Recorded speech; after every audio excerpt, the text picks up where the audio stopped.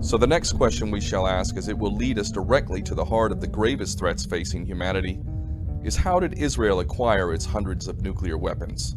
This is a, a US technology, but as the, the US law forbidden to transfer this technology, um, during the, the years uh, 50, the, the US government, uh, blocking the US law, give this uh, uh, technology to the French government with the idea that the French government will transfer the technology to Israel. The Israeli leadership uh, wanted nuclear weapons desperately as far back as the 1950s.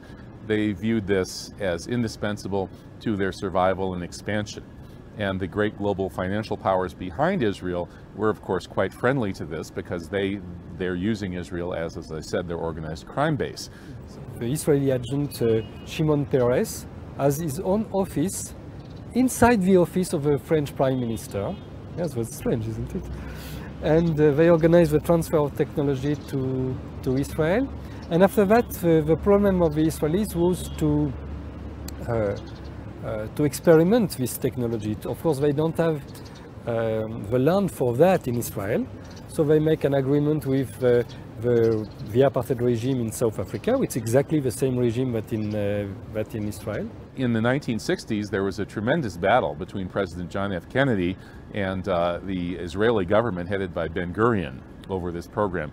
Ben Gurion was determined to achieve nuclear weapons. Kennedy was equally determined to stop him.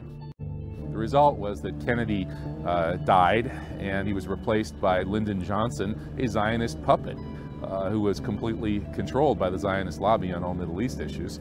And Johnson turned around and essentially handed the Israelis their nuclear weapons. Since then, the program is, which is somewhat shrouded in secrecy, it's a deniable program, but they don't deny it very seriously, has grown. Uh, many estimates have about 400 Israeli nuclear weapons. And there are uh, reports, unconfirmed by mainstream sources, of course, that the Israelis actually have miniature nuclear weapons planted in cities in the West, and particularly in the United States. Uh, and so this is the world's most dangerous nuclear program. Nuclear weapons are in the hands of terrorist madmen, and those are the terrorist madmen of the government of Tel Aviv. Well, the uh, bottom line of the Israeli nuclear program is the so-called Samson option. This is a form of extreme nuclear blackmail.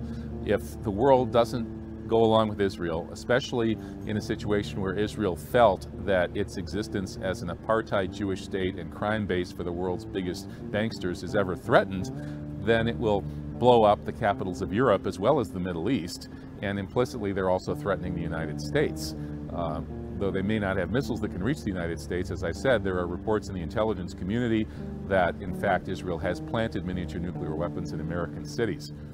I remember in the 1970s, uh, being in a, a conference, uh, a big hall in uh, Toronto at the medical school, and there was a very famous Jewish professor who was an expert in Hegel. I Don't remember his name, but he announced to the group, uh, to the whole audience, he said, if Israel is ever going to go down, if we're going to go down, we're not going to let what happened to us during World War II ever happen again. If we're going to go down, we're going to take the rest of the world with us. Members of Congress, I have the high privilege and the distinct honor of presenting to you His Excellency Benjamin Netanyahu, Prime Minister of Israel.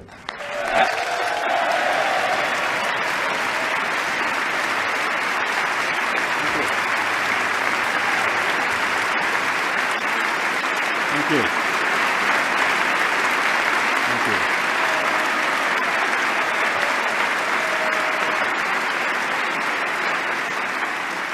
Thank you very much.